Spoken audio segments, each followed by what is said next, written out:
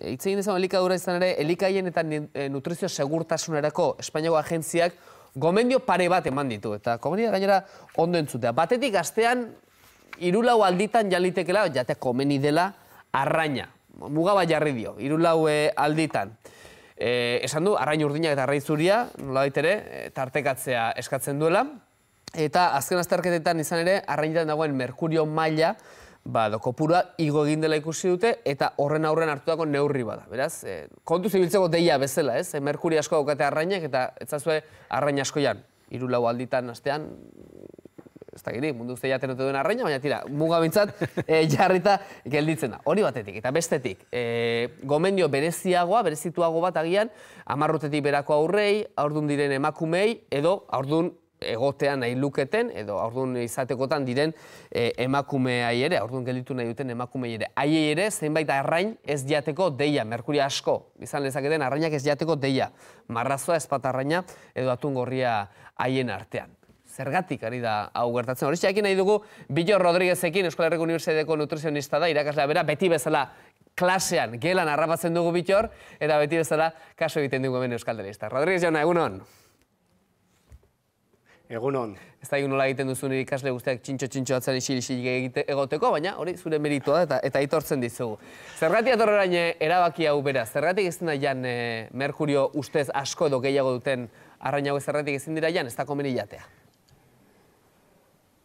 Bueno, aspalditik esarritako neurri bat da. Eh? Ministeritzan eh, eskegita zegoen mesu hori, gauza da, igo dutela bueno, adintartea, ez? Eh, elikagai oietxek saiesteko adintartea.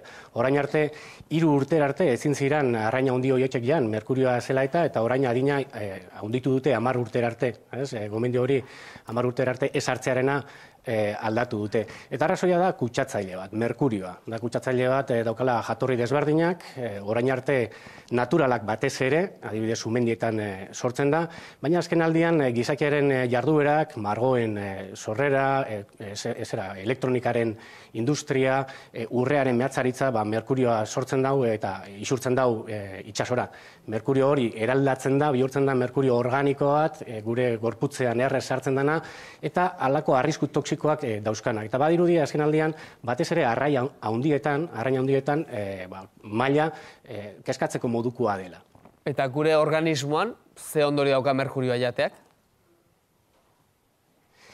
Bueno, merkurio e, maila altu batzuk hartzea arriskutsua izan daiteke batez ere nervio sistemaren garapenean e, dauden e, organismoetan, hau da ume txikietan, e, edo e, zera, e, aurduna dauden emakumeetan, edo aurdun egon nahi dutenetan metatzen dutelako beraien gorputzen eta beraz gero umeari pasatzen zaio, eta e, nervio sistemaren garapenean arazoak izan ditzake, gero arazo kognitiboak, edo e, konduktualak, edo e, burmuin arazoak, bai, egon litezke.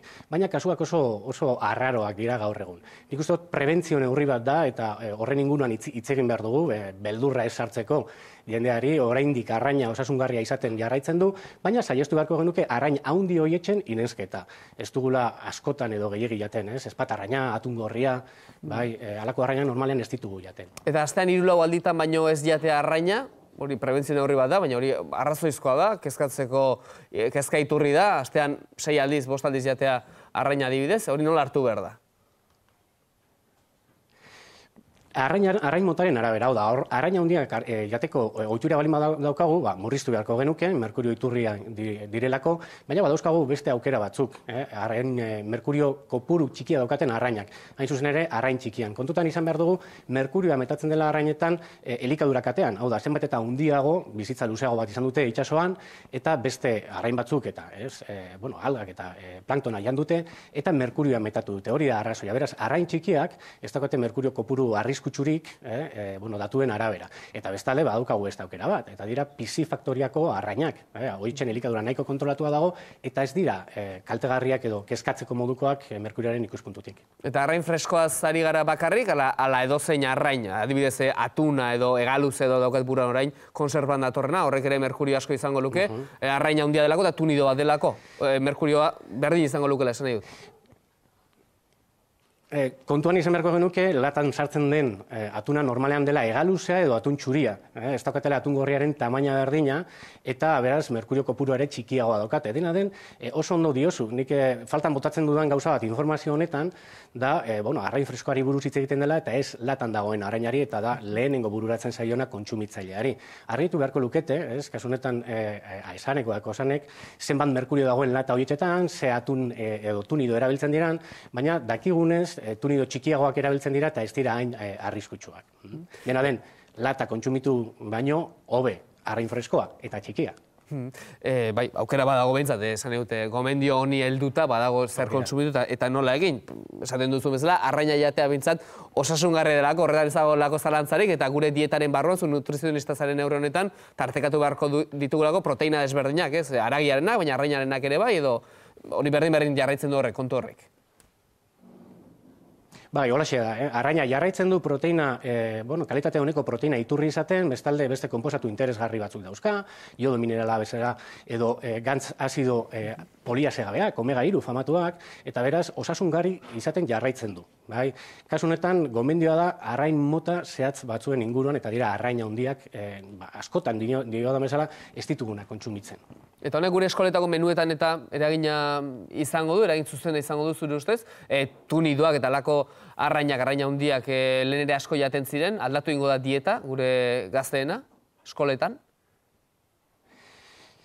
Suposatzen dut, eraginen bat izan dezakela, hau da, e, elikadura inguruan, batez ere, bueno, osasunarekin zer ikusia daukaten, eta kasunetan arrisku, eh, potentzial batekin zer ikusia daukaten e, alako mesuek, batez ere, ba, bueno, elikaiak saltzen, diru egiten duten eh, enpresetan eh, eraginen bat izan beharko lukete. Eta alako produktuak erabiltzen bali dituzte, ba, amar urte baino gutxiago umeai eh, elikatzen bali, elika, umeak elikatzen bali dituzte, ba, alako produktuak saiestu beharko dituzte beraien menuetan, logikoa da. Hmm. Esan duzu, hasieran gure bizi estiloarekin ere lotura badaukala, merkurioa, merkurio konzentrazioa arrainetan igotzen joan izanak, e, gailu elektronikoen e, ondakinak eta, ba, azkenean itxasoa bukatzen dela ondakin horiek, eta horrek ere kutsatzen duela itxasoa, hor merkurio maila metaketa hori edo, e, askoz ere handiagoa e, dela. Merkurio kopuru horrek, pentsa dezaken nik behintzat, gora egiten jarraituko duela. Ze ez dut uste gure bizi estilo aldatzeko asmo handiri daukagunik momentuz behintzat. Orduan, honek zertan amailezake kontu honek? O amailiteke kontu hau?